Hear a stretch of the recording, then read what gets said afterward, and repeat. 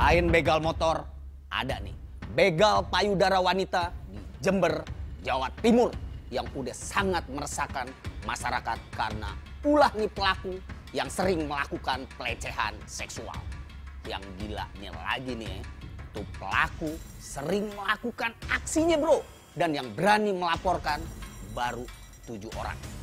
Dan akhirnya ini pelaku berhasil diringkus oleh Satreskrim dari Polsek Mayang, Jember, Jawa Timur. Yang begini nih ya, otak ngeres kriminal yang gak menghargai wanita. Ini dia liputan.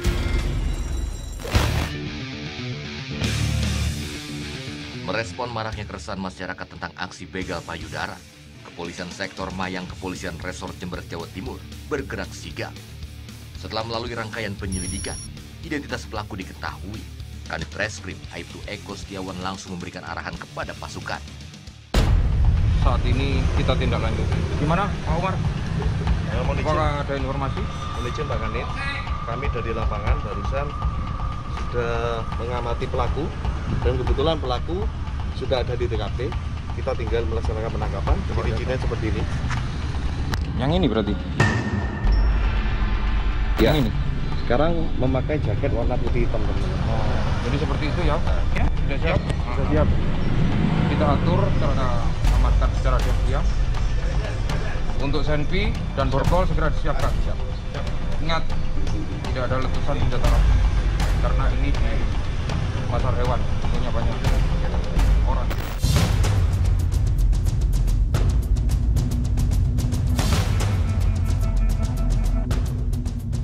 Dan tak perlu waktu lama polisi pun langsung bergerak. Di kawasan pasar hewan tersangka Tohali, warga desa Kejayaan Mayang Jember tidak berkutik didatangi polisi.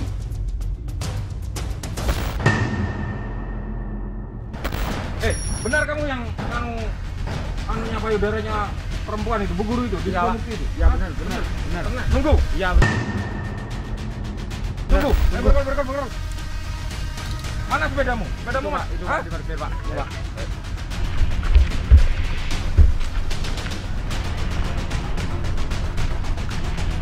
Ini sepeda ya? Iya, ini. Hah? Iya. Ini, yang itu, itu, itu.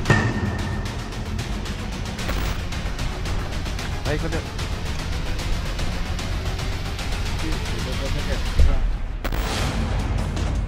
Guna memperkuat bukti dan saksi, polisi melakukan pengembangan dengan membawa tersangka ke tempat kejadian perkara.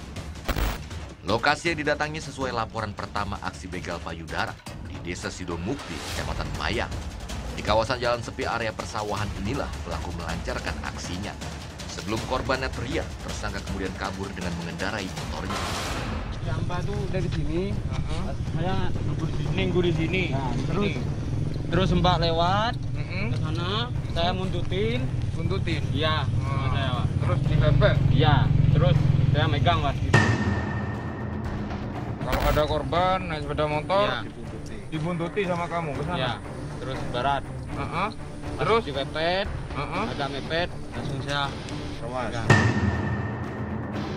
Ya, jatuh korbannya. Ya, Tahu jatuh ponda. Anda tahu kamu jatuh apa enggak? enggak bener saya. Hah? Enggak jatuh korbannya. Terus korbannya itu, Sendiri. mbaknya itu buka sendiri. Iya. Betul. Sendiri yang Betul. sendiri Betul ya. Iya. Kepada polisi, tersangka mengaku telah melakukan aksi pelecehan seksual jalanan ini sebanyak 10 kali. Di tengah reka adegan, salah satu korban mendatangi TKP. Benar ini. Benar ini orangnya yang sampean. Iya. Iya, Mbak. Benar. Di mana? Di sini ya? Iya di sini pas mau berangkat kerja. Pakai sepeda apa? Betul ini Iya sepeda. sepeda merah pakai. Coba coba sini. Betul ini ya. Iya kak betul ini. Jaketnya itu ya yang Jaketnya dipakai. itu pakai jaket itu terus di belakangnya itu pakai ada kayak burung. Oh, burung itu ya. Burungan burung gitu kak. Tapi bener ini ya sepedanya ya? Bener ya? Bener itu aja. SD adalah salah satu dari delapan korban yang telah melapor kepada pihak kepolisian. Dua korban lagi hingga kini belum memberikan keterangan. Untuk pelaku mengakui, untuk pelaku mengakui ini sudah dilakukan sekitar 10 kali.